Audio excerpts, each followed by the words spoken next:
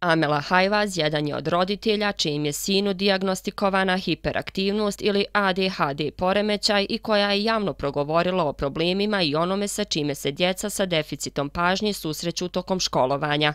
Amelin sin pohađa osmi razred i do sada je morao promijeniti tri škole. Prvo je bio upisan u katolički školski centar koji je zbog nedostatka kadra koji bi mu se posvetio morao napustiti. Nakon toga Amela sina upisuje u osnovnu školu Simin Han kao prvu školu na području Tuzlanskog kantona koja uvodi sistem inkluzivne nastave, ali zbog udaljenosti i tu školu dječak mora napustiti. Sada Amelin sin pohađa osnovnu školu Mejdan. Ja sam jako zadovoljna, imala sam sreću da moj sin, imam sreću da moj sin pohađa razred gdje je samo 13 učenika.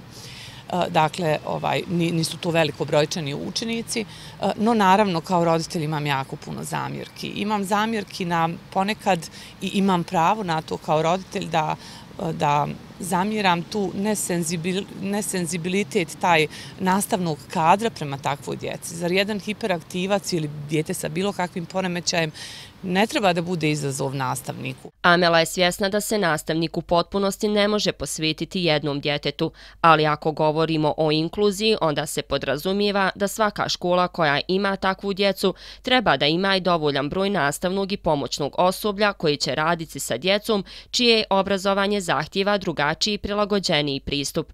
Prema podacima Ministarstva obrazovanja na području Tuzlanskog kantona zaposleno je svega 24 edukatora rehabilitatora koji redovnim nastavnicima i profesorima pomažu u radu sa djecom sa nešto drugačijim potrebama. I to naravno nije dovoljno. Zapošljavanje jednog edukatora rehabilitatora na jednu školu uh, uopšte nije model koji je prihvatljiv u konceptu inkluzije, nego u odnosu na potrebni intenzitet podrške koji je kreiran od samog djeteta. Znači koliko djete treba podrške, toliko mu treba stručnjaka koji će raditi s njim.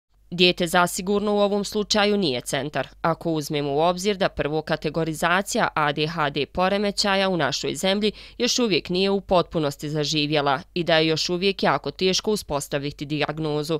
Amela ističe da je određene pretrage morala obaviti u Zagrebu i onda sa tim mišljenjima i nalazima se obratiti ljekarima u Tuzli koji su na osnovu toga uspostavili diagnozu.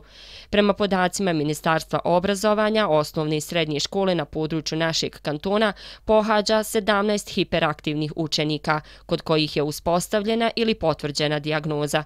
I ova djeca zasigurno nisu centar svijeta, jer njima se u potpunosti nema ko posvetiti osim njihovih roditelja.